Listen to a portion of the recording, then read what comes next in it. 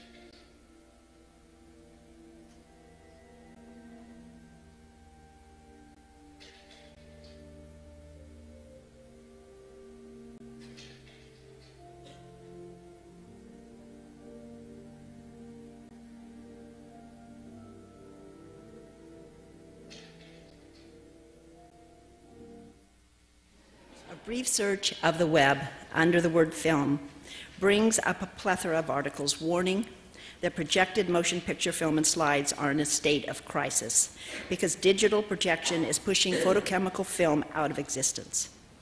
Ironically, 16 millimeter film and 35 millimeter slide projections by such important artists as Tacita Dean, Paul Sharits, James Coleman, Fischli and Weiss, Douglas Gordon, Kota Ezawa, Lisa Oppenheim, Thomas Demand, and many others that are now being shown in museums in increasing, with increasing frequency.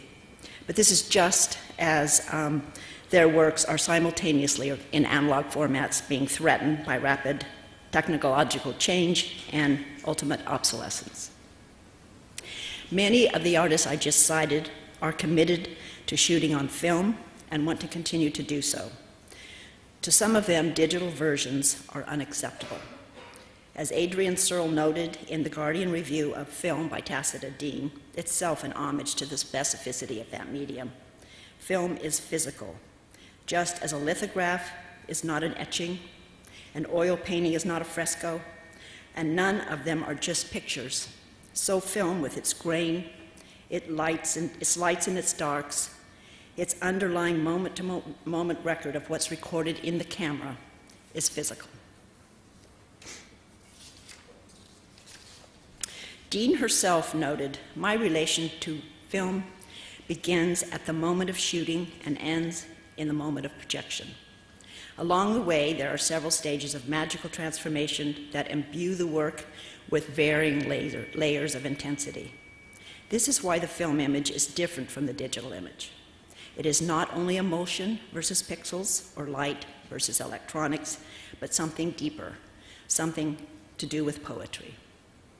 This quote accompanied a petition that Dean drafted when she faced the sudden end of 16 millimeter film processing at the London lab that she had um, come to rely upon. When Soho Lab, lab Laboratory was taken over by new US owners, those owners announced that they were printing, stopping the printing of 16 millimeter film effective immediately. That was it, Dean said. Medium eviction without notice. Display equipment is equally threatened. Once ubiquitous 16 millimeter projectors necessary to show the work of Dean and others can now be serviced by a single vendor in all of North America. And as most of us know, Eastman Kodak stopped producing the carousel in 2004. As stakeholders in this critical um, enterprise, we are here today to discuss and study strategies that will help us keep these works alive for now but into the future. But the outcome is still uncertain, as Ross Lipman, film preservationist at the UCA, UCLA Film and Television Archive, um, and a speaker tomorrow, noted when he was talking about, in that case, 35 millimeter film. We're looking around and seeing if anybody's found a way to survive this transition. But it's like we're walking around a battlefield and people are just dropping left and right. The preservation, and I'm a conservator, of time based art in general is often discussed as being fundamentally different from the preservation of other forms of art. The notion that this new media challenges traditional ideas of preservation seems to be the result of the fact that this form's dependence on technology, but also because of its, its preservation is perceived as being due to factors outside of its physical nature. Pip Lawrenson, conservator at the Tate, for example, said, For much of contemporary art, meaning has shifted away from the unique and precious object. And conservation practice has to reflect this change and to recognize different types of complexity and different types of vulnerability. Jill Sterrett, conservator at SF MoMA, also noted a significant difference between time based and traditional art forms. Essentially, these works, unlike paintings and sculpture, do not really exist until they're installed. And each time they are installed, they depend heavily on those responsible to manage a complex array of detail and to know how the work is to be shown correctly. Both these statements are accurate.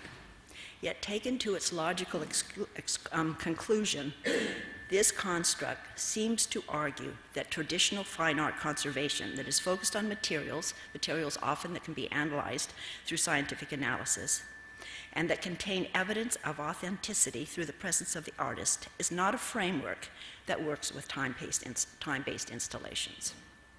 In a nutshell, this outlook argues that artworks which are temporal and ephemeral and depend for their survival on strategies of migration and emulation and require uh, changing out of obsolete equipment are fundamentally different forms of art and therefore in, uh, require entirely different approaches to preserve them.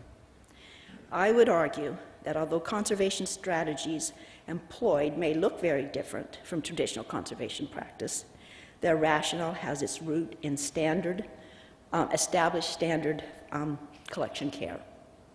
Fundamental to this pr- approach is the notion that the artist's intent should, should guide our practice. As stewards of artworks in museums and archives, we have a responsibility to preserve the historical quality or character of the work, both in relation to the history of modern art and to the, to the development of the artist's work throughout his or her career. Depending on the artist, the preservation strategies may look very different. But in the case of artists who are committed to shooting on film and who want to continue to do so, our fidelity still is to the original material. And this approach is not fundamentally different from other forms of conservation.